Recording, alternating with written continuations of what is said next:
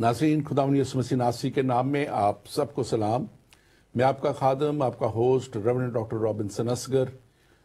ईमान का सफ़र प्रोग्राम लेके आज फिर आपके सामने हाजिर हूँ। और नाजरीन, मैं खुदामंद अपने खुदा का शुक्रगुजार हूँ, जो हमें ज़िंदगी में बार बार मौके अता करता है कि हम ईमान के सफ़र के उस जगह तक पहुँचें, जहाँ तू हमें देखना चाहता है, जहाँ खुदावंद हमारा खुदा हमें देखना चाहता है। और खुदावंद, हम ख़ास तौर पे आज शुक्रगुजारी करते हैं इस सारे वक्त के लिए। दुनिया के इन सारे हालात में, जैसे कि ये दुनिया इस वक्त मुश्किलों में है, परेशानियों में है लॉकडाउन की सिचुएशन हर तरफ़ फैली हुई है और लाखों लोग अपनी जाने इस कोरोना वायरस के वजह से वो अब खो चुके हैं। लेकिन खुदाबंद हम शुक्रगुजार हैं कि तू अपने लोगों को संभालता है, अपने लोगों को प्रोटेक्ट करता है। और तू खुदावंद उनके लिए इस बात को खुदाम खुदा गारंटी कर देता है कि जब वो तेरे पे तवक्ल करते हैं, तुझ खुदावंद आसमानी बाप पे तवक्ल करते हैं तो तू ही उनकी खुदा हर तरह से मुहाफ़त फरमाता है। आज के इस प्रोग्राम में हम नाजरीन आपको ख़ास तौर पे उसी अखीर ज़माना की सीरीज़ को जारी रखते हुए, जिसका ख़ास तौर पे आप तक हमें पहुंचाना इसलिए भी ज़रूरी है कि खुदावंद यसु मसीह नासरी ने ये मुकाशवा अपने शागिर्द यूना आरिफ को दिया। और यूना आरिफ को इसलिए ये मुकाशवा दिया कि आने वाले वक्तों को, के ताल्लुक से दुनिया को बताया जा सके। ताकि दुनिया तौबा करे, नजात तक पहुँचे और हमेशा की ज़िंदगी को हासिल करे। और यसु मसीह नासरी ने खुद यूना आरिफ को फरमाया था कि ये दुनिया तक इसको पहुंचाना उसके लिए ज़रूरी है। और हम ये भी जानते हैं कि उस वक्त के दौर में जो कलीसियाएँ थी, उनको भी खास खत लिखे गए। खास तौर पे सात कलीसियों को लिखे गए। ताकि उन कलिसियाओं के वसीला से भी जो है, नजात का पैगाम दुनिया तक पहुँचे।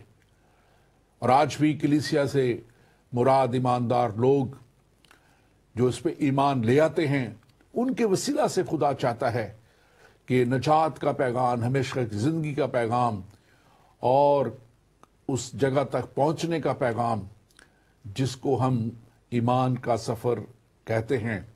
उस ईमान के सफ़र तक आपको भी ले लेके जाने के लिए आज फिर हम स्टूडियो में मौजूद हैं। और हम अपनी सीरीज़ के आ, बिल्कुल आखिर में पहुँचे हैं और हमने पिछली दफ़ा बुकाशवा की आ, जो आ, किताब है आखिरी किताब बाइबल मुकद्दस की उसका हमने इक्कीसवां बाप उसको एंड किया ख़त्म किया लेकिन चंद बातें उसमें से आ, करना नहायत ज़रूरी है जिसको हम वहाँ से शुरू करते हुए आगे बढ़ेंगे। और आज ख़ास तौर पे जिस सब्जेक्ट पे हम बात करेंगे इन बातों के बाद वो अखीर ज़माना ज़िंदगी का पानी और दरख्त। यानी कि अखीर ज़माना एक्चुअली तो ये अखीर ज़माना के बाद के अब वाकयात शुरू हो चुके हैं।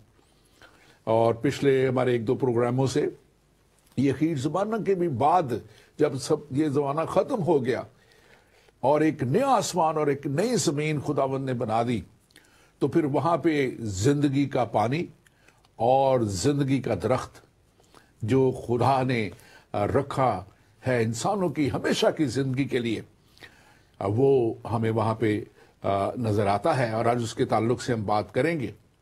लेकिन पहले हम बात करेंगे आ, हमारे साथ आज के जो मेहमान हैं उनके साथ मिलके डॉक्टर अख्तर जीली जो कि पिछले प्रोग्रामों में भी हमारे साथ आते रहे और पेशे के अतबार से आप जानते हैं, मेडिकल डॉक्टर हैं और बाइबल का एक मुशाह रखते हैं। और हमने बात की थी कि कैसे जो है उस शहर पनाह में वो नया यरूशलेम, जिसकी बुनियादें भी मोतियों की थी और जिसकी दरवाज़ा भी एक एक मोती का था और कैसी खूबसूरत जगह खुदा ने तैयार की। वहाँ तक हमने बात की थी और वहाँ से हम थोड़ा सा आगे भी चलेंगे और वहाँ पे हम देखेंगे आज खास तौर पे कि ये जो सारा सिलसिला है ये कैसे हुआ और कहाँ तक ये लेके जाएगा। और मैं आज खास तौर पे डॉक्टर जी डी वेलकम करता हूँ आपको। Welcome to the show thank you आपको वेलकम करते हैं। और हम खास तौर पे डॉक्टर साहब लास्ट टाइम हमने बात की थी और उसको आगे बढ़ाते हुए कि खुदावंद ने हमने जो यहाँ पे देखा था अगर हम तेईसवीं आयत से देखें अगर आप इसको पढ़ दें तेईसवीं और चौबीसवीं बल्कि बाईसवीं से पढ़ दीजिए। बाईसवीं आयत मुकाशवा इक्कीस बाब की बाईसवीं आयत में लिखा है और मैंने उसमें कोई मकदस ना देखा इसलिए कि खुदावंद खुदा कादर मुतलक और बर्रा उसका मकदस हैं और उस शहर में सूरज या चाँद की रोशनी की कुछ हाजत नहीं, क्योंकि खुदा के जलाल ने उसे रोशन कर रखा है और बर्रा उसका चिराग है और कौमें उसकी रोशनी में चले फिरेंगी और ज़मीन के बादशाह अपनी शान शौकत का सामान उसमें लाएँगे। अब इसमें डॉक्टर साहब हम यहाँ पे जब देखते हैं कि खुदा ने जो है आ, आ, हम आ, इस जगह पे हम इसका ज़िक्र देखते हैं कि यहाँ पे बारह दरवाज़ों का ज़िक्र है। जी। बारह मोतियों से बने हुए दरवाजे हैं। और इसमें लिखा हुआ है कि मैंने उसमें कोई मकदस ना देखा इसलिए कि खुदावंद खुदा कादर मुतलक और बर्रा उसके मकदस हैं। और अगली बात खास तौर पे जहाँ से मैं चाहूँगा कि हम आगे बढ़े उस शहर में सूरज या चाँद की रोशनी की कुछ हाजत नहीं, नहीं क्योंकि खुदा का जलाल उसमें उसे रोशन कर रोशन कर रखा है और बर्रा उसका चिराग है। जी बिल्कुल। आप इसके ताल्लुक से बयान कीजिए इस आयत को खास तौर पर जी। देखें पादरी साहब ये आयत मुबारक जो है, ये बहुत ही मार्फत की आयत है। और उसकी वजह यह है कि हम इंसानी होते हुए, जिस्मानी होते हुए, हम रोशनी का मंबा सूरज और चाँद, ये सूरज जो इस निज़ाम शमसी का मरकज़ है, सूरज जिसे हम शम्स कहते हैं, ये सितारा, हम इसको रोशनी का मंबा और मरकज़ समझते हैं। लेकिन जब हम बाइबल मुकदस का मुताल करते हैं तो हमें ये बात समझ में आती है कि रोशनी दरअसल खुदा की हजूरी का नाम है, क्योंकि खुदा ने पहले इस तख्लीक के अमल को शुरू करने से पहले खुदा ने रोशनी बनाई, और वो रोशनी जो है, वो ऐसी रोशनी नहीं जो बुझ सकती है, ऐसी आग या ऐसा नूर नहीं जो एक केमिकल प्रोसेस के ज़रिए है और जब वो केमिकल प्रोसेस खत्म हो जाएगा तो वो बुझ जाएगा वो खत्म हो जाएगा लिहाजा यहाँ पर जब ये बात लिखी गई है कि उस में सूरज या चाँद की रोशनी की हाजत नहीं हम्म। तो इसका मतलब यह है कि ये केमिकल प्रोसेस जिसमें ऑक्सीजन और फ्यूल जलता है किंडलिंग टेम्परेचर बढ़ता है रोशनी निकलती है ये चीज़ें जो है ये वहाँ पे इनकी इसलिए ज़रूरत नहीं क्योंकि खुदावंत की मौजूदगी वहाँ पर होगी। और सूरज और चाँद बनाने से पहले जो रोशनी थी खुदा की रोशनी ये उसी की रेस्टोरेशन है। हम्म। क्योंकि जब हम देखते हैं तो हमें पता चलता है कि जब खुदा ने इस दुनिया को खलक किया तो उसने इस दुनिया को बनाया तो रोशनी थी ये उसकी रोशनी थी उसके जलाल की रोशनी थी। बिल्कुल डॉक्टर साहब ये बड़ी अच्छी आपने बात की और इसको मैं चाहूँगा कि हम थोड़ा सा मजीद भी तफसीलन इसको देखें। क्योंकि कलाम मुकदस अगर हम इसको देखें पैदाइश की किताब जो बाइबल मुकदस की पहली, पहली किताब, किताब जी। और वहाँ पे हमें दुनिया की तखलीक नज़र आती है। जी। और ये मुकाशवा बाइबल की जो आखिरी किताब है जी। यहाँ पे वही तखलीक खुदा ने हमने देखा पिछले प्रोग्रामों में कि उसको खत्म किया मिटाया और हर चीज़ को फना कर दिया, क्योंकि गुनाह दुनिया में बढ़ गया। इंसान की बगावत खुदा के खिलाफ दुनिया में बढ़ गई। लेकिन हम यहाँ देखते हैं कि जब खुदा ने इस दुनिया को बनाया था तो वहाँ पे लिखा है, खुदा ने इब्तदा में ज़मीन और आसमान को पैदा किया। दूसरी याद कहती है, और ज़मीन वीरान और सुनसान थी। और गिराव के ऊपर अंधेरा था और खुदा की रूप पानियों की सतह पर जुम्बिश करती थी। जी। और खुदा ने कहा कि रोशनी हो जा और रोशनी हो, हो गई। जी बिल्कुल। अब एक बात और बड़ी वाजे तौर पे क्लियर करने की यहाँ ज़रूरत है हमारे नाजरीन के लिए देखने के लिए समझने के लिए कि खुदा तो खुद नूर है। जी। और वो आसमानों पे जहाँ पे वो रहता है वो नूर ही वहाँ पे नूर है। जी बिल्कुल। लेकिन ज़मीन पे खुदा ने देखा कि तारीकी है तो उसने कहा कि रोशनी हो जा तो रोशनी हो गई। अब यहाँ पे हमने पढ़ा था कि वहाँ पे चाँद सितारों की सूरज चाँद सितारों की कोई हाजत नहीं। जी। तो ये जो चाँद है ये बड़ी समझने की इसको ज़रूरत है। सूरज है चाँद है सितारे हैं ये सोर्स नहीं है लाइट का। जी। ये सोर्स कौन है? खुदावंद हमारा खुदा है जिस वो कहता है और रोशनी हो जाती है। और वो सोर्स नहीं है लेकिन आ, वो जो चाँद और सूरज और सितारे बनाए गए ये यहाँ पे ये वाला जो हिस्सा मैंने पढ़ा था अभी पैदाइश की किताब में से यहाँ पे लिखा है और रात हुई और शाम हुई सो पहला दिन हुआ। जब इंसान खुदा ने रोशनी बनाई और खुदा ने सारा निज़ाम शमसी जो है और फिर लिखा है कि तारीकी को रोशनी से जुदा किया उसने। लेकिन जो सूरज और चाँद और सितारे हैं वो चौथे दिन बनाया गया चौथे दिन लिखा हुआ है चौदहवीं आयत में जब हम जाते हैं वहाँ पे लिखा है और खुदा ने कहा कि फलक पर नैर हो कि दिन को रात। रात से अलग करें और निशानों और जमानों और दिनों और बरसों के इम्तियाज़ के लिए हों। तो यहाँ पे ये बड़ी वाज आ जाती है बात और आगे सोलहवीं आयत को अगर अब अगला उसका देखें सेकंड पार्ट तो लिखा है कि अ, सो खुदा सोलहवीं आयत पूरी पढ़ देते हैं सो खुदा ने दो बड़े नैयर बनाए। जी। एक नैयर अकबर जिसको हम सूरज कहते हैं। ताकि दिन पे हुक्मरानी करे और एक नैयर असगर। के रात पर हुक्मरानी करे और उसने सितारों को भी बनाया। सो ये जो हैं सूरज और चाँद और सितारे ये जो लाइट खुदा ने पहले दिन रोशनी बनाई दुनिया के ऊपर कहा और वो रोशनी हो गई उसको रिफ्लेक्ट करने के लिए। और दिन और रात का फ़र्क जो है उसको बताने के लिए और बनाने बनाया खुदा ने। आप इसके ऊपर रूट तबसरा कीजिए। जी, बिल्कुल देखें, ये आयात जो हैं, ये बड़ी पुर है मानवीयत से और जो रोशनी खुदा ने पहले बनाई, जिसका ज़िक्र पहली चंद आयात में है, पैदाइश, पहली बाप, पहले बाप की, पहली, दूसरी, तीसरी आयत में, वो रोशनी दरअसल वो रोशनी थी जो खुदा के जलाल की मौजाती रोशनी थी।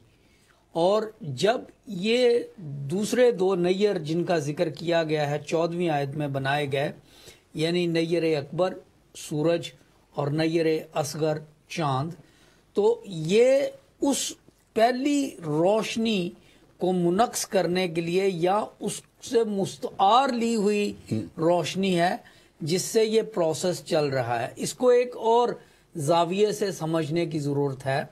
और वो ये है कि हम जानते हैं, साइंस पढ़ने वाला हाई स्कूल का हर बच्चा जानता है कि चाँद की रोशनी कोई नहीं है। चाँद बिल्कुल एक चट्टान का टुकड़ा है, एक ज़मीन के टुकड़े की तरह का एक सियारा है और ये रोशनी मुनक्स करता है सूरज की। और फिजिक्स के तालब इलम ये भी जानते हैं कि जो सूरज की रोशनी है, वो एक केमिकल प्रोसेस है, जो आखिरकार खत्म हो जाएगा। अब देखें खुदा की रोशनी जो है वो कभी खत्म नहीं हो सकती। इसलिए क्योंकि खुदा अजली है अब्दी है लाजवाल है। लेकिन सूरज के बारे में हम ये नहीं कह सकते। इसलिए क्योंकि उसको एक काम दिया गया है उसको एक रोशनी देने का इस कायना इस निज़ाम शमसी को जो फेल बख्शा गया है वो खुदा की तरफ़ से अता है। पता है और डॉक्टर साहब हमने पिछले प्रोग्रामों में जब हमने पिछले को तीन चार पहले पिछले प्रोग्रामों में जब हमने उसमें बड़ा इसको क्लियर भी किया था कि जब गुनाह बहुत बढ़ गया और जब दुनिया में खुदा ने देख लिया तो उस वक्त अब ये खत्म करना है इस दुनिया को तो उस वक्त जब दुनिया समुंदर सब कुछ लिखा है आसमान खत्म किया उसने खुदा ने। तो लिखा है वहाँ पे हमने इस बात को भी वहाँ ज़िक्र किया था कि फिर खुदा ना ज़मीन ना चाँद रहा ना सितारे रहे क्योंकि जिस ज़मीन के लिए उसको बनाए थे जी, जी। जिस मकसद के लिए बनाए थे अब वो ज़मीन ही नहीं रही। जी बिल्कुल। और ये गुनाह जो है इसका शुरू हम देखते हैं प्रोग्राम में आगे बढ़ते हुए। आ, उसकी तरफ़ मैं जाता हूँ लेकिन इससे पहले कि मैं आगे जाऊँ मैं अपने नाजरीन से कहूँगा कि आप ज़रूर इस प्रोग्राम को शेयर करें।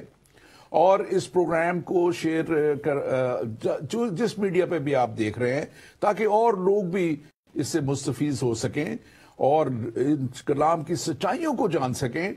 और हमारा पेज है ईमान का सफ़र फेसबुक पेज, उसको भी आप लाइक करें और ताकि ये प्रोग्राम आपको रेगुलर देखे, देख सके और पिछले प्रोग्राम भी फिर आप देख सकें। और इसके साथ साथ हम जो है, हम जो आपको ये भी बताते चले कि आप इन, इस प्रोग्राम में आप कॉल कर सकते हैं हमें। और आप, हमारा जो ज़िंदगी टीवी के जो है उसके ऊपर भी आप इस, हमें से कॉल कर सकते हैं। स्काइप का जो हमारा पेज है, ज़िंदगी टीवी उस स्काइप नाम है उसका, उसके ऊपर आप कॉल सकते हैं, कर सकते हैं। हमारा स्पेशल नंबर है, इसके लिए व्हाट्सएप नंबर है plus one five eight five five four two nine double zero आप इस पे हमें कॉल कर सकते हैं। और इसी तरह हमारा जो आप देखना चाहें तो यूट्यूब पे भी हमारा ईमान का सफ़र पेज है।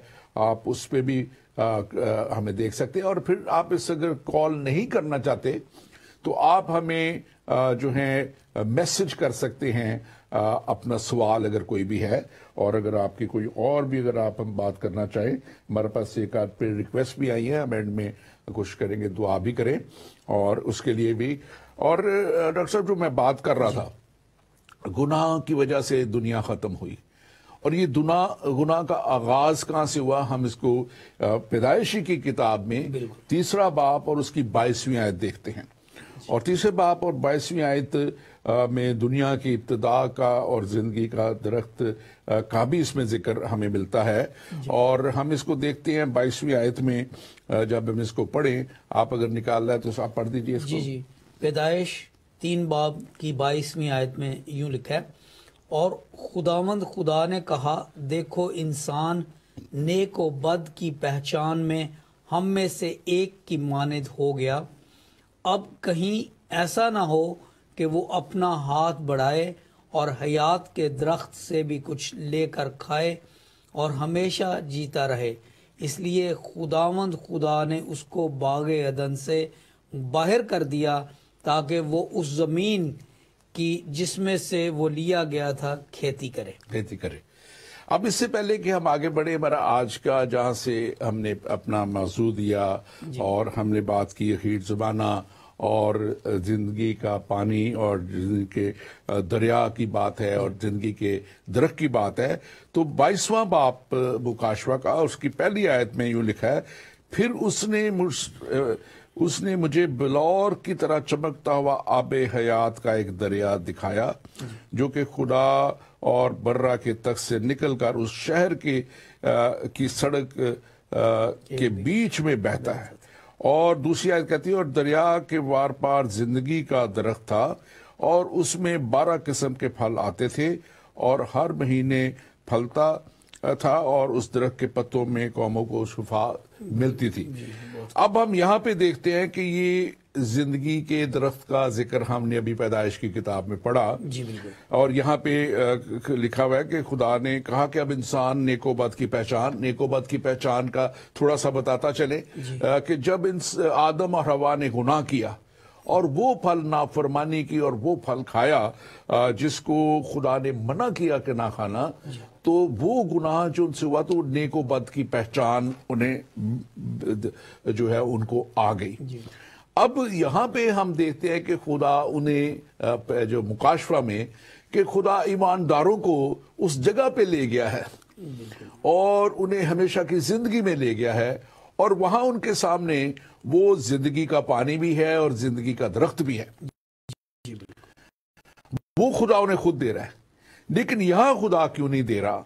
यहाँ खुदा क्यों नहीं चाह रहा कि वो इसको जो है इस दरख्त को हयात से भी कुछ लेकर खाएँ? उसकी एक बड़ी वजह। क्योंकि इंसान गुनाह कर चुका था और इंसान गुनाह में जा चुका था। और अगर वो ज़िंदगी के हयात के दरख्त में से कुछ खा लेता तो सारी उम्र गुनागार रहता वो। हमेशा वो हमेशा के लिए गुनागार रहता और उसकी रिडेम्पशन उसकी मुआफी उसका कुछ भी नहीं हो सकता था और वो गुनाह में ही रहता। इसलिए खुदा ने उस वक्त मना किया ताकि इंसान नजात तक पहुँचे और तौबा करे और जो तौबा करे हमेशा की ज़िंदगी जो है उसको वो दे और फिर उसको हमेशा की ज़िंदगी के लिए यही पानी जो है इसको ऊपर हम बात करेंगे। भी थोड़ी सी ज़िंदगी के दरख्त के ऊपर भी और ज़िंदगी के पानी के ऊपर भी और इसको जो है हम खास तौर पे इस पे बात करेंगे। आप इसके ताल्लुक से ज़रूर कहिएगा। बिल्कुल। पाजी साहब आपने जिन हवालों का ज़िक्र किया है, वो बहुत खूबसूरत एक माला की तरह, एक लड़ी की तरह एक दूसरे में जम होते जाते हैं। जो हयात के दरख्त का सबसे पहला ज़िक्र है वो पैदाइश दो बाब की नौ आयत में है ये आपने जो हवाला पढ़ा वो तीसरे बाब में था इससे था जब गुनाह हुआ लेकिन अगर हम दूसरा बाब पढ़े और उसकी नवी आयत में लिखा है और खुदावंद खुदा ने हर दरख्त को जो देखने में खुशनुमा और खाने के लिए अच्छा था ज़मीन से उगाया और बाग के बीच में हयात का दरख्त हम्म। और नेको बद की पहचान का दरख्त भी लगाया लिहाजा ये ज़िंदगी का दरख्त, हयात का दरख्त, जिसके, जिससे फिर उनको दूर कर दिया गया गुनाह करने के बाद, दोबारा तीसरे बाब में इसका ज़िक्र है।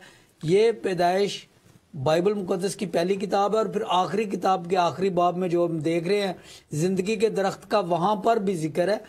यहाँ पर आब हयात के दरिया का ज़िक्र है।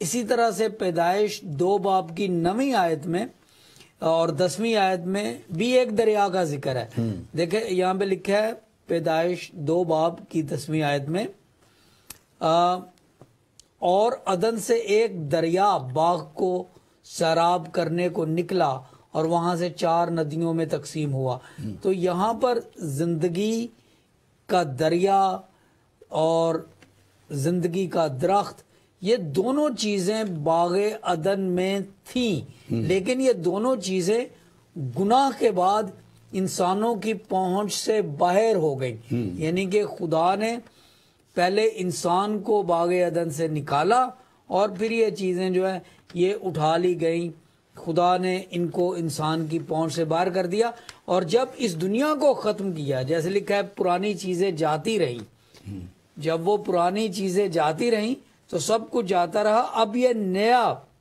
यरूशलम है, जिसमें ये बाग भी है, जिस और उस बाग में आब हयात का दरिया भी है फिर, और ज़िंदगी का दरख्त भी है। और यहाँ पर फिर वो, इस चीज़ को थोड़ा सा वजाहत से भी बयान किया गया कि, और खुदावंद के बर्रे के तख्त से निकलकर ये दरिया उस सड़क के बीच में बहता था, और दरिया के वार पार ज़िंदगी का दरख्त था और उसमें बारह किस्म के फल आते थे और हर महीने में फलता था और उसके पत्तों से कौमों को शिफा होती शिफा थी, थी। शिफा होती थी।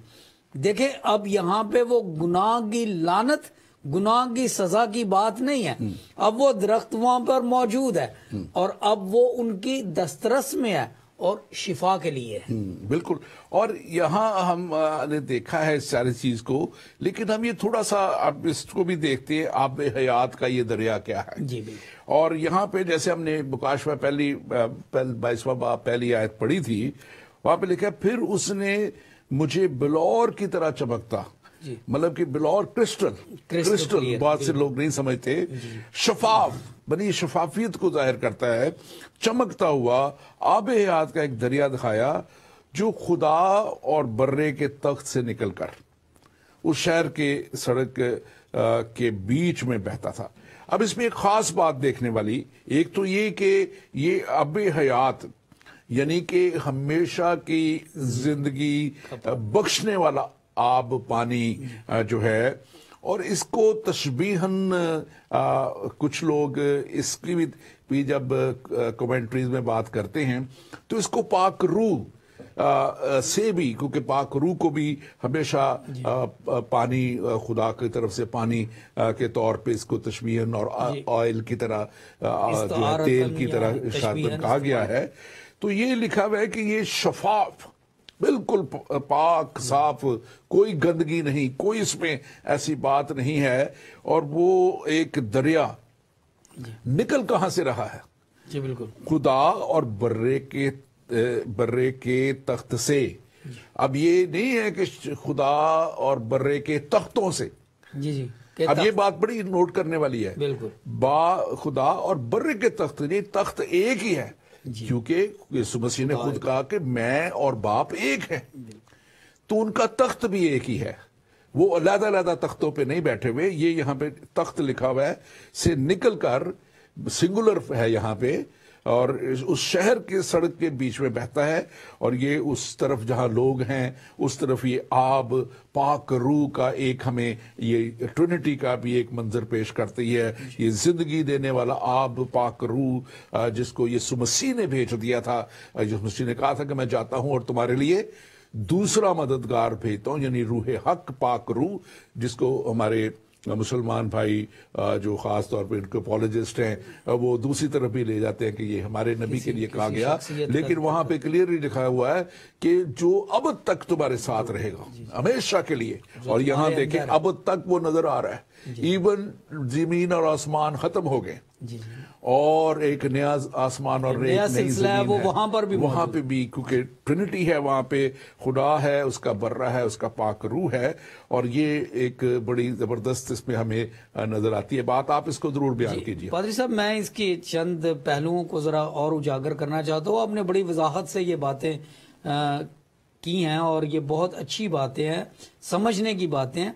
जो बात मैं करना चाहता हूँ वो ये है कि सबसे पहली बात यह है कि ये बिलौर की तरह चमकता हुआ हम्म। आब हयात।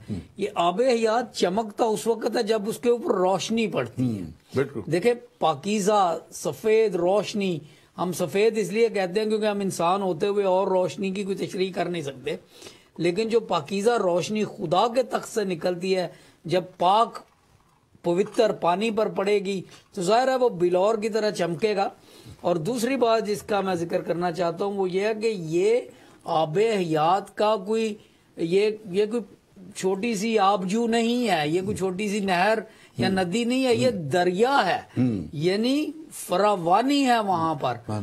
खुदा की तरफ़ से जो ज़िंदगी का धारा है जहाँ पे ये ज़िंदगी का दरख्त है जहाँ पर कौमों के लिए शिफा मुयसर है जहाँ पर हम जैसे गुनागारों के लिए जो खुदा के फजल से खुदावंद यसु मसीह की कुर्बानी के वसीले से बचाए जाएँगे। हमें वहाँ पर हयात जावदानी की कमी नहीं होगी बल्कि वहाँ पर इसका सामान जो है इतना वाफर है गोया के कोई दरिया बह रहा है। बल्कि यहाँ पर यूना रसूल लिखते हैं कि उन्होंने ये सब कुछ देखा है। हम्म। यानी उसने उन्हें दिखाया। ये कोई फर्जी बात नहीं है कि उसके, उनके जहन में डाल दी गई या उनको कह दिया गया। देखें, गवाही का, शहादत का, ये उत्तम तरीन मैार है कि जो हुआ, जिसका, जिसकी आप बात करें, क्या आपने वो चीज़ देखी? हाँ तो यहाँ पर यूहन्ना आरिफ, मुकाशवा, खुदावंद यसुमसी का मुकाशवा लिखने वाला नबी खुद लिख रहा है। फिर उसने मुझे बिलोर की तरह चमकता हुआ आब हयात का एक दरिया दिखाया। यानी कि मैंने देखा देखा। मैंने देखा वो दरिया था बिलोर की तरह चमक रहा था। उसके ऊपर खुदा का नूर था और वर, और फरावानी थी वाफिर था पानी। वाफिर था बिल्कुल। आ, हम इसमें मजीद आगे बढ़ते हैं मैं अपने नाजरीन से कहूँगा आप ज़रूर, अगर कोई भी आपका सवाल है, आप हमें लिखें या हमें कॉल करें। आपकी स्क्रीन पे नंबर आ रहे हैं। व्हाट्सएप नंबर एक नया, ये भी है। दो दो नंबर आ रहे हैं। आपके यहाँ लोकल नंबर भी आ रहे होंगे।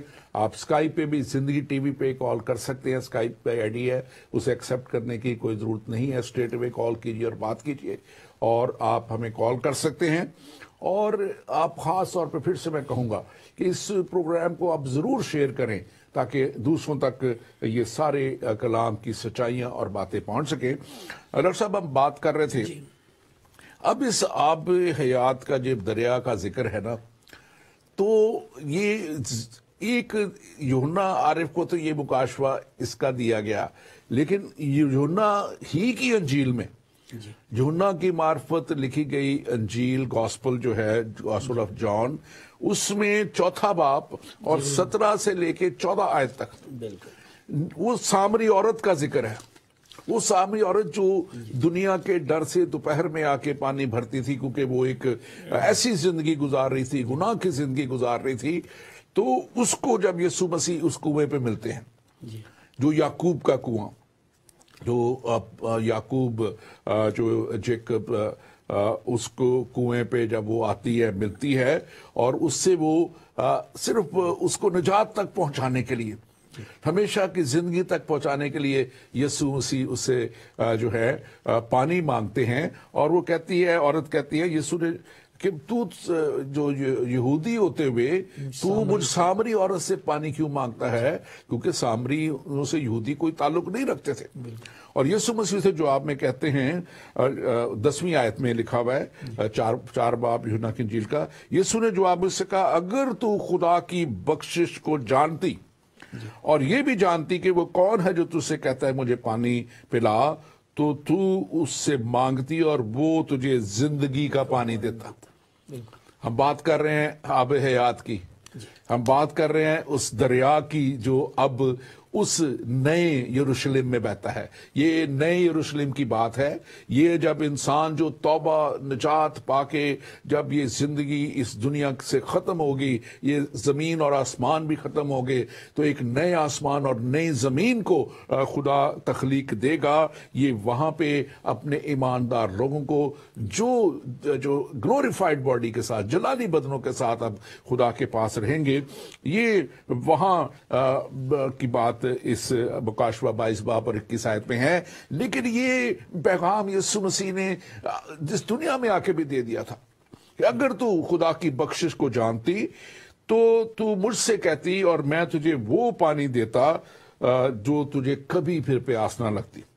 कभी तुझे प्यास ना लगती और मैं समझता हूँ कि ये ना कभी प्यास ना लगना या हमेशा की ज़िंदगी उस मुकम्मल शिफा को ज़ाहिर करती है जो हमेशा की ज़िंदगी में इंसान की होगी। आप इस पर ज़रूर तफसला कीजिए। जी, देखें हम इंसान इस इस कदर अपनी जिस्मानी मुश्किलात में, जिस्मानी ज़रूरियात में उलझे रहते हैं कि हम बाज़ात किसी चीज़ की रूहानियत और उसके रूहानी पहलू तक पहुँचने की कोशिश नहीं करते।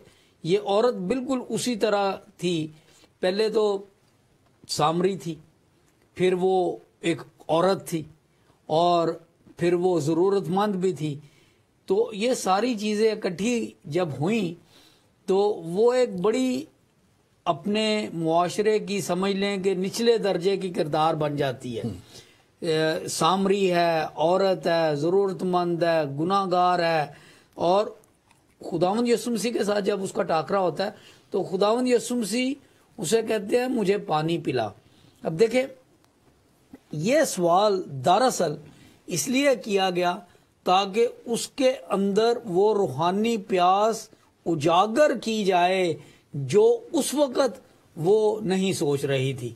और जब ये उनके मुकामला मुकालमा होता है उस औरत का सामरी औरत का और खुदावंद यसुमसी का तो खुदावंद यसुमसी ने जैसे आपने फरमाया बाइबल मुकद्दस में यूहन्ना रसूल की इंजील के चौथे बाब में लिखा है कि खुदावंद यसुमसी ने उस, उस उन्हें कहा कि देख अगर तुझे पता होता कि मैं कौन हूँ या तू किससे बात कर रही है तो तू इस पानी के बारे में मत you would have forgotten about it भूल जाती कि ये पानी क्या है? तू मुझसे मांगती मैं दरअसल वो कह रहे तू मुझसे मांगती मैं तुझे ज़िंदगी देता का पानी और वो जब उसकी सारी बातें हम तफसील में नहीं जा सकते कि जब यसु मसीह उसकी तफसील उसको सारी ज़िंदगी बता सकते हैं कि तो पहले पाँच शोहर कर कर चुकी है और जिसके पास वो अब रह रही वो तेरा शोहर नहीं, नहीं तो वो हैरान हो जाती है। और वो कहती है कि तू कोई ज़रूर कोई नबी है। और आज मैं इस पर जब सोच रहा था आज बड़ी दुनिया उसको नबी मानने के लिए तो तैयार है। लेकिन उसको वो कफारा देने वाला वो खुदा का बर्रा मानने के लिए तैयार नहीं है। ज़िंदगी का पानी लेने के लिए तैयार नहीं है। ज़िंदगी का पानी लेने के लिए तैयार नहीं है। ये- ये और बहुत से लोग है, जो है आज भी ये कहते हैं कि तेरे पास वो तेरे पास पानी नहीं है तू मुझसे पानी माँगता है तू ज़िंदगी का पानी कहाँ से देगा। आज भी लोग सवाल करते हैं। आज भी लोग जानते हुए भी बाज लोग नहीं जानना चाहते इसको। और यरमिया नबी अगर देखें ये पुराने नामों में भी इसका ज़िक्र है। जो यरमिया नबी की मार्फत सतारवा बाप और उसकी तीसरी आयत कहती है वहाँ पर लिखा तेरहवीं आयत कहती है अय खुदावंद इसराइल की उम्मीदगाह तुझको तर्क करने वाले सब शर्मिंदा होंगे क्योंकि उन्होंने खुदावंद को जो आब हयात का चश्मा है तर्क किया। खुदावंद को जो आब हयात का चश्मा है तर्क कर दिया। और आज भी जो तर्क करते हैं वो हमेशा की ज़िंदगी को आ, आ, वो जो है क्या कहना चाहिए कि खो देते हैं। हमेशा की ज़िंदगी खो देते हैं और बहुत से लोग मैं से बताऊँ आज इस दुनिया में हैं जो उसको पहचान नहीं रहे यीशु मसीह को और उसकी तालीमत को पहचान नहीं रहे वो कह देते हैं कि ये कलाम झूठा है। आप इस पे ज़रूर बात कीजिए आप कुछ कहना चाह रहे हैं। साहब आपने ये बड़ी खूबसूरत और बड़ी नुक्ते की बड़ी पते की बात निकाली है जो यूहन्ना चार बाब की उन्नीसवीं बीसवीं आयत में लिखा है कि उस औरत ने उसको नबी मान लिया। हाँ। कह दिया कि तू नबी है। ये नुक्ता जो है ना जिसको आपने थोड़ा सा स्ट्रेस किया मैं और इसे स्ट्रेस करना चाहता हूँ कि खुदावंद यसु मसीह को नबी मानने वाले तो बहुत हैं लेकिन खुदावंद यसु मसीह को खुदा का बेटा मानते नहीं। इसलिए वो उससे ज़िंदगी का पानी हासिल नहीं कर सकते। सिर्फ़ ये कह देना कि खुदावंद यसु मसीह या Yesu Masih Jesus Christ was a prophet that is not enough क्योंकि खुदावंद यसु मसीह सिर्फ़ नबी नहीं थे। किसी और नबी ने यह दावा नहीं किया कि मेरे पास ज़िंदगी का पानी है। किसी और नबी ने यह दावा नहीं किया कि जो मेरे पास आएगा, वो अब तक प्यासा नहीं होगा। लिहाजा मैं अपने नाजरीन को ये कहना चाहता हूँ समाइन को जो लोग हमारी बात सुन रहे हैं कि देखें खुदावंद यसु मसीह को सिर्फ़ नबी मान लेना काफ़ी नहीं है। इसलिए क्योंकि बहुत से लोग उसे नबी तो मानते हैं लेकिन उसको निजात दहिंदा नहीं मानते। बिल्कुल। और अगर इसी यूना ही के जीर में आज थोड़ा सा इसको तफसीलन देख लेते हैं मैं समझता हूँ लोगों की बड़ी ज़रूरत है। ये यीशु मसीह के अपने अल्फाज हैं। जो। आप ज़िक्र कर रहे थे यसु मसीह ने छठे पाप में और उसकी अठाईस अड़तालीसवीं आयत में लिखा है यसु मसीह का ज़िंदगी की रोटी मैं हूँ। उन्होंने अपने आप को ज़िंदगी की रोटी भी कहा। और जो इस तरह है और वो रोटी जो आसमान से आई उसने लिखा कि वो मैं हूँ। और इसी तरह आगे हम देखें अगर सातवां बाप देखें और इसी यूहन्ना की अंजील में और उसकी सैंतीसवीं आयत देखें तो वहाँ पे बड़ा खूबसूरत ज़िक्र है यहाँ पे लिखा हुआ है कि न- फिर ईद के आखिरी दिन जो खास दिन है यीशु खड़े होकर पुकार कर कहा अगर कोई प्यासा हो तो मेरे पास तो मेरे पास आकर पिए। जो ईमान लाएगा लाएगा उसके अंदर से जैसा किताब मुकद्दस में आया ज़िंदगी के पानी की नदियाँ जारी हो जाएँगी। मतलब कि इतना बड़ा क्लेम यीशु मसीह करते हैं वो दुनिया के नबियों की तरह नहीं है। जो जिन्होंने खुद कहा कि हमें तो खुद पता नहीं कहाँ पे जाना है। वो कहते हैं कि ज़िंदगी की रोटी मैं हूँ ज़िंदगी का पानी मैं हूँ। और वो कहते हैं कि जो मुझ पे ईमान लाएगा वो उसके अंदर से ज़िंदगी के पानी की नदियाँ जारी हो जाएँगी। ये बड़ी इतना बड़ा क्लेम इतना बड़ा करने वाला और जैसे खुदा ने कहा जैसे देखें ये सारी चीज़ें प्रूव हो रही हैं। जो जो क्लेम यीशु मसीह ने किए उन्होंने जो जो दावे किए उन्होंने मुर्दों को ज़िंदा किया उन्होंने कहा कि इस हैकल को तुम गिरा दोगे तशवीहन उन्होंने वहाँ पे हैकल को कहा था लेकिन उन्होंने अपनी तरफ़ ज़िक्र किया। था क्योंकि कलाम कहता है कि तो, तुम ज़िंदा खुदा की हैकल हो। उसने कहा हैकल को तीन दिन में गिरा दोगे तो ये मैं उठा खड़ा करूँगा। और उन्होंने उस हैकल को जो यसु मसीह का बदन था, जब सलीब पे चढ़ा दिया और उसको मार दिया और जब दफन हुआ उन्होंने तीसरे दिन उठ के उस बात को भी साबित कर, ज़िंदा होके इस बात को भी साबित कर दिया कि जो वो कहता है उसे पूरा करता है। और ये जैसे खुदा ने कहा, रोशनी हो जा, रोशनी हो गई। उसने कहा, आसमान और ज़मीन और कुल कायनात खल्क हो जाए, वो खल्क हो गई। और उसने डोमिनियन मैंडेट देके, इख्तियार दे के इंसान को पैदा किया। यही इख्तियार यसु मसीह के कफारे के वसीला से हम इस जगह पे रिस्टोर होता हुआ देखते हैं। इस नए यरूशलेम में जहाँ पे हम पूरी तरह देख रहे हैं कि अब इंसान को हमेशा की ज़िंदगी और वो बाग अदन वाला इख्तियार वापस मिल गया है और अब वहाँ पे एक चीज़ और खास तौर पर उस बाग अदन में वो फल का दरख्त था जिसको मना किया गया था खाने के लिए। लेकिन इसका कोई ज़िक्र नहीं है। बिल्कुल। अब उसका कोई ज़िक्र नहीं है आप इस पर बात कीजिए जी जी। वो देखें एक और बड़ी दिलचस्प बात यह है कि खुदा ने जब ज़िंदगी की चीज़ें बनाई तो सबसे पहले दरख्त बनाए थे।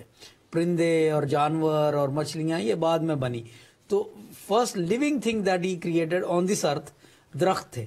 और उन दरख्तों में एक दरख्त था जो ज़िंदगी का दरख्त था और एक नेक और नेकी और बदी की पहचान का दरख्त था जो बाग अदन में था। और वो ज़िंदगी के दरख्त के साथ था, यानी कि ज़िंदगी का दरख्त भी वहाँ पर था और नेकी और बदी की पहचान का दरख्त भी वहाँ पर था। लेकिन यहाँ पर जब ये रेस्टोरेशन होगी, ये जो नया यरूशलेम है, इसके अंदर जो बाग है, इसमें उस दूसरे दरख्त का ज़िक्र नहीं है। यानी कि यहाँ पर नेकी और बदी की पहचान का कोई दरख्त नहीं है सिर्फ़ ज़िंदगी का दरख्त है, बल्कि तीसरी आयत में लिखा गया और फिर लानत ना होगी। यानी उस दरख्त के फल खाने से जो लानत आदम पर और हवा पर और इस ज़मीन पर हुई, वो सारा सिलसिला दोबारा जो है वो नहीं दोहराया जाएगा। इसलिए क्योंकि अब वहाँ पर जो दरख्त है, वो सिर्फ़ ज़िंदगी का दरख्त है, जो कौमों के लिए शिफा का बायस बनता है, और वो हमेशा फलता फूलता रहता है। यहाँ पर हम देखते हैं कि जैसे ये पूरा सागा ये जो एक तरह का कायनात का स्टेज ड्रामा जो है हम्म। उसका ड्रॉप सीन हो रहा है। अब वो पर्दे गिर रहे हैं। ड्रामा खत्म हो रहा है कि अब इसके बाद लानत नहीं होगी। सब कुछ मुकद्दस है। सब कुछ पाक है। ज़िंदगी का दरख्त है। ज़िंदगी का दरिया है। कौमों को शिफा है। और यूँ हम देखते हैं कि this is the restoration of previous Eden लेकिन इसमें वो दूसरा दख्त नहीं है। हम्म। और इसमें खास तौर पे एक और बात मैं चाहता हूँ आज यहाँ क्लियर करते हैं।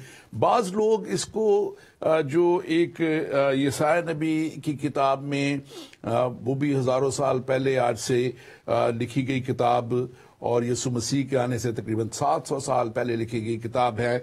और वो पैंसठ बाप और उसकी बीसवीं और इक्कीसवीं आयत अगर हम देखें तो वहाँ पे इसके साथ लोग इसको कंफ्यूज करते हैं, क्योंकि वहाँ भी दरख्तों का ज़िक्र है और यहाँ पे लिखा हुआ है, फिर कभी कोई ऐसा लड़का ना होगा जो कम उम्र रहे, ना कोई ऐसा बूढ़ा होगा जो अपनी उम्र पूरी ना करे, क्योंकि लड़का सौ बरस का होकर मरेगा और जो गुनागार सौ बरस का हो जाएगा मालून होगा और वो घर बनाएँगे और उनमें बसेंगे और पाकिस्तान लगाएँगे और उनके मेवे खाएँगे। और ये, और लगाएँगे, मेवे खाएँगे। और अगली आयत में लिखा है ना कि वो बनाएँ और दूसरे बसेरा करें, लगाएँगे। दूसरे खाने के लिए दूसरा खाए, क्योंकि मेरे बंदे, बंदों के आयाम दरख्त के आयाम की मानद होंगे, और मेरे बरसीदा अपने हाथों का काम और मुद्दतों से फ़ायदा उठाएँगे। इसके साथ बाज दफ़ा लोग इसको कंफ्यूज करते हैं। ये मेरे मुशाहे में बात गुजरी मैंने कहा इसको मैं क्लियर कर दूँ। और वो कहते हैं कि वो जो यसाय नबी ने कहा था उस पे दरख्त के लोग उस पर खाएँगे। ये मलेनियम किंगडम की बात है। जी जी जी। ये हज़ार साल बादशाहत में जहाँ पे लिखा है कि वो कोई भी जो है वो मरेगा नहीं और वो लंबी लंबी सॉरी लंबी उम्र पाएँगे वो लोग और लंबी उम्र पाएँगे और वहाँ पे और वहाँ पे भी हर तरह का फल और हर तरह की चीज़ें होंगी। लेकिन इसका रेडिमेंस मिलता है जो जबूर की छियालीस जबूर है उसमें मिलता है कि एक ऐसा दरिया है जिसकी शाखों से जो है वो शहर जो है वो सिर्फ़ राज़ी पाता है। और एक इसमें खास तौर पे रेलिवेंस इसका इजकील की किताब में इजकील का सहीफा जो है, इजकील नबी का, और उसका सैंतालीसवां बाप और उसकी बारहवीं आयत जो है, अगर वो देखें तो वहाँ पे इसको आप क्लियरली देख सकते हैं कि वो बिल्कुल जो है, इजकील नबी के सहीफे में यही चीज़ बयान की गई है। वक्त इतना नहीं कि मैं उसे पढ़ सकूँ, मैं चाह रहा था कि उसको मैं पढ़ भी देता। मैं पढ़ देता हूँ जल्दी से अगर इसको 47 इजकील 47 12 में यहाँ देखते हैं।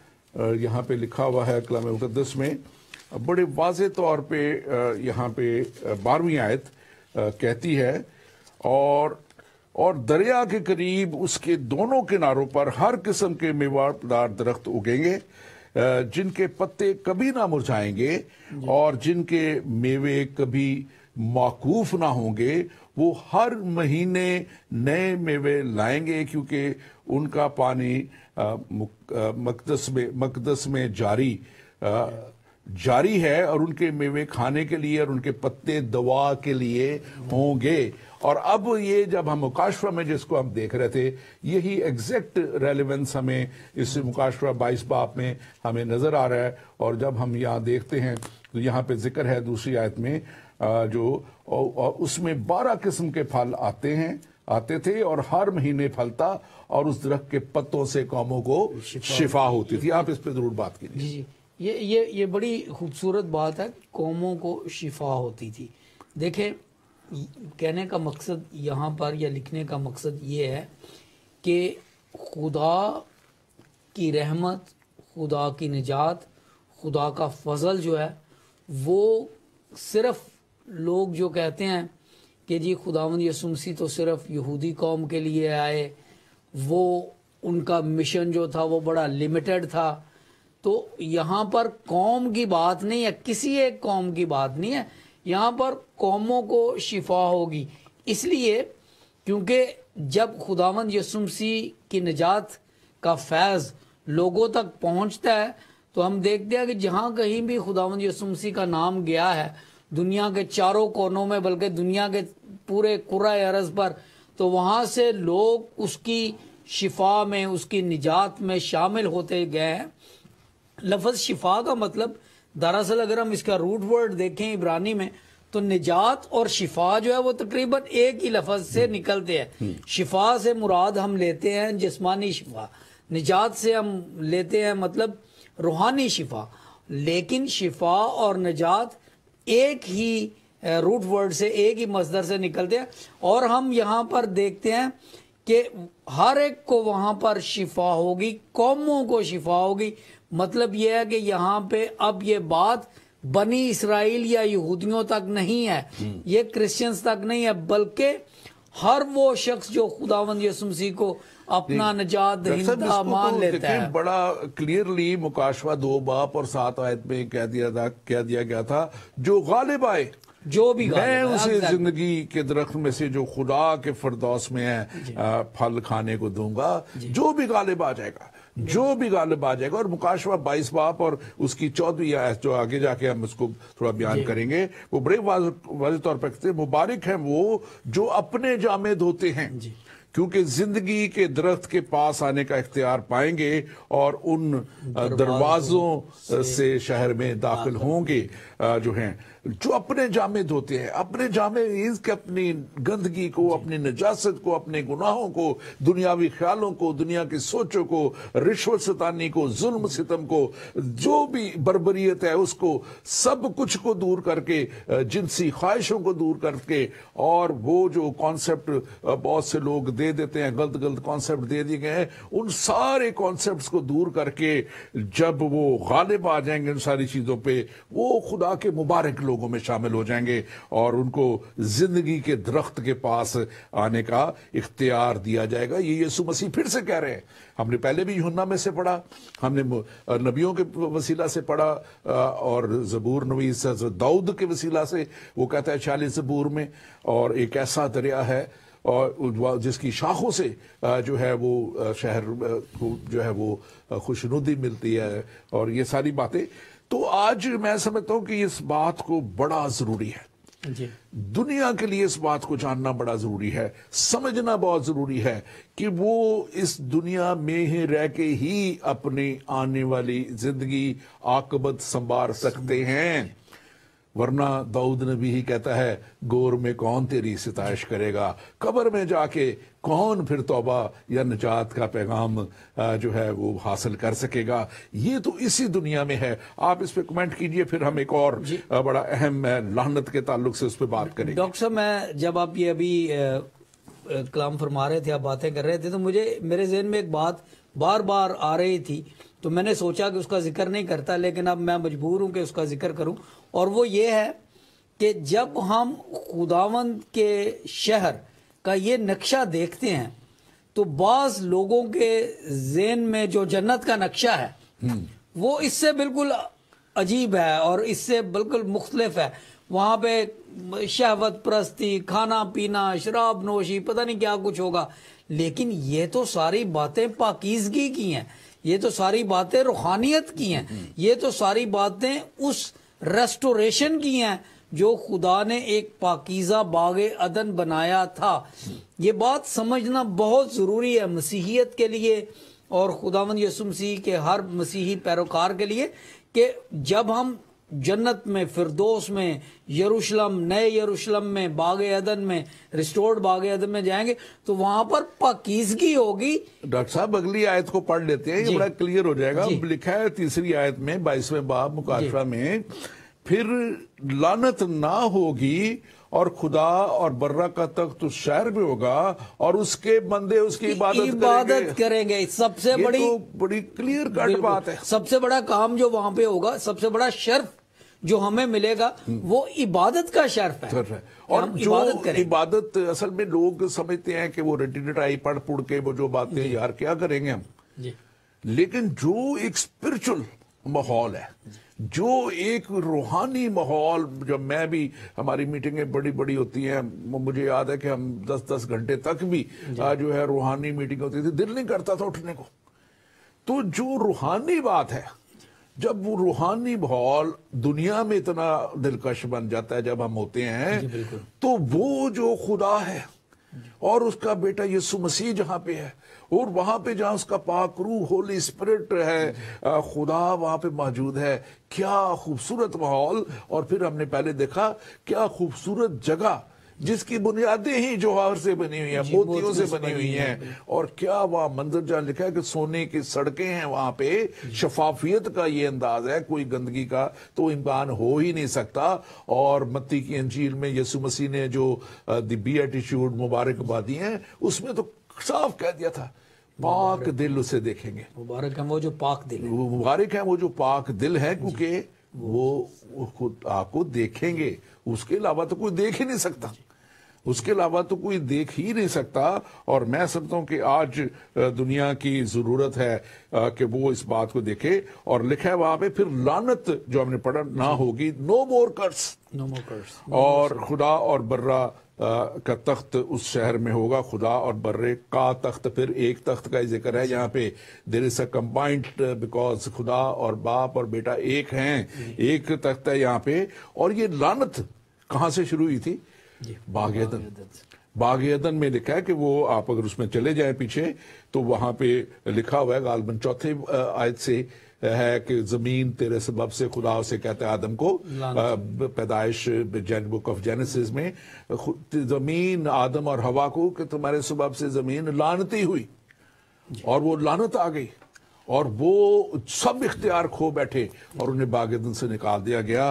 हियर इज़ द प्लेस यहाँ पे हम देखते हैं। सब इख्तियार बहाल हो गया है। आगे जाके हम देखेंगे कि लिखा है कि अगली आयत अगर हम इसको साथ ही लें तो वहाँ पे लिखा है, उसके और उसका नाम उसके माथों पर लिखा होगा फिर रात ना होगी और वो चिराग और सूरज की रोशनी के मोहताज ना होंगे, क्योंकि खुदावंद खुदा उनको रोशन करेगा और वो अब्दुल्लाबाद बादशाही करेगा। खुदावंद खुदा उन्हें रोशन करेगा और वो अब्दुल्लाबाद बादशाही करेगा। तो यहाँ पे हम बड़े वाज आप इसको थोड़ा सा बताइए, फिर आगे चलेंगे डॉक्टर साहब, ये जो यहाँ पे इस्तेलाह इस्तेमाल हुई है और वो उसका मुँह देखेंगे, यानी कि वो उसकी हजूरी में होंगे उसका चेहरा मुबारक हमेशा उनकी नज़रों के सामने होगा। और लिखा है, और उसका नाम उनके माथों पर लिखा होगा। अब इसकी जो तशरी है, वो मुख्तलिफ़ लोगों ने मुख्तलिफ़ तरीके से की है, लेकिन जो सबसे खूबसूरत तशरी मुझे यूनानी की इस तफसीर में मिलती है, वो यह कि किसी शख्स का नाम माथे पर होने का मतलब यह है कि ख्यालात तुम्हारे हमेशा उसी के हैं। अगर किसी का नाम मैंने अपने माथे पर लिख लिया है तो इसका मतलब है मैं हमेशा उस शख्स के बारे में सोचता हूँ। इसलिए क्योंकि यूनानी हिकमत के मुताबिक दानिशमंद दानिश के मुताबिक लफज माथे पर लिखे जाने का मतलब था this is the seat of thinking हमारा माथा जो है वो इस बात की ज, वो जगह है जहाँ पे सोच होती है इंसान की फ्रंटल लोब साइकोलॉजी में भी इसको अ, कहा गया है सीट ऑफ़ थिंकिंग या थॉटफुलनेस सीट ऑफ़ थॉटफुलनेस तो यहाँ पर लिखा है कि जो लोग नए यरूशलेम में होंगे खुदावंद की इबादत करना उनका शर्फ होगा वो उसका मुँह देखेंगे और उनके और उसका नाम उनके माथों पर होगा यानी कि their thoughtfulness is always about God बिल्कुल और बिल्कुल और यहाँ पे उसकी इबादत करेंगे भूतों की इबादत नहीं जी, जी। बुद्धा की इबादत नहीं नबियों की इबादत नहीं मजारों की और जनाब चढ़ावे चढ़ाने वाले की इबादत नहीं और और वो की चीज़ें सोचेंगे। इबादत नहीं है। लेकिन सिर्फ़ खुदावंद और उसकी मोहर दुनिया की मोहर नहीं अबलीस की मोहर ये नहीं। खुदावंद और की मेरे मोहर है माथे पर, हँसी आ रही थी कि वो चिप वाली नहीं होगी। नहीं, नहीं, नहीं, नहीं, खुदा ये- का नाम होगा खुदा का। अब वक्त हमारे पास खत्म हो गया और हम आगे अब मजीद इस पर नहीं बढ़ सकते। अगले प्रोग्राम में हम मजीद बातचीत जारी रखेंगे। Thank you very much doctor Anjali आपके लिए हम शुक्रगुजार हैं आपके सारी मोहब्बत के लिए।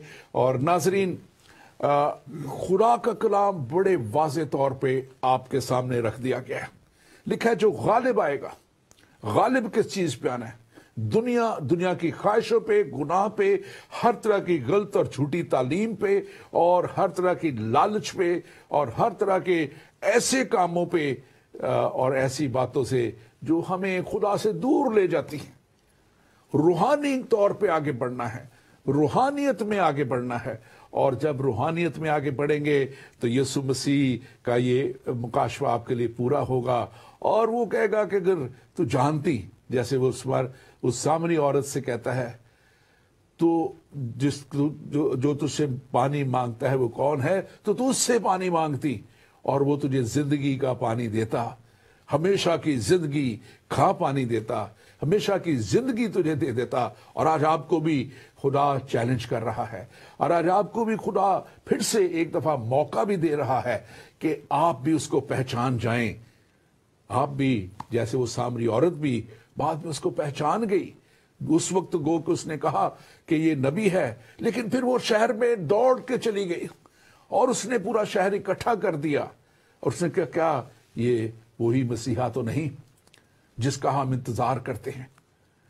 यकीनन वो मसीहा आपके लिए भी आया।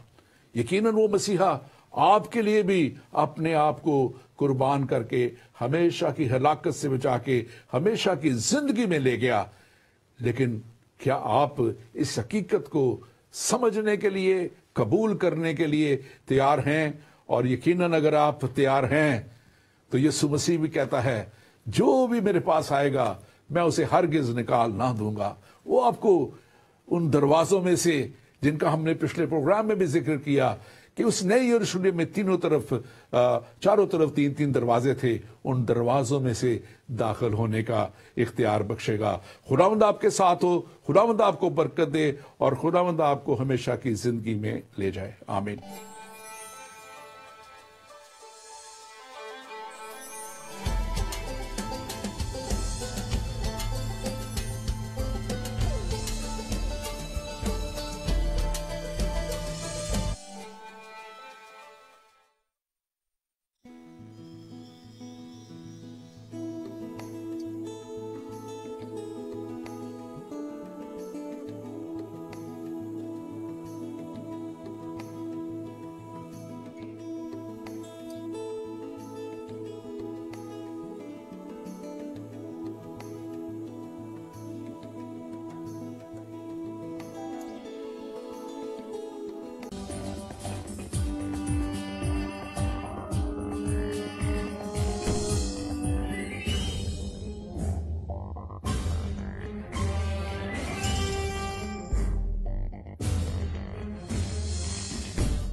मसीह के कदूस और नाम में आप सबको सलाम कबूल हो। प्रोग्राम हतमी सच्चाई में आप सबको खुशामदीद कहते हैं। हमने प्रोग्राम का सिलसिला शुरू किया था। बड़े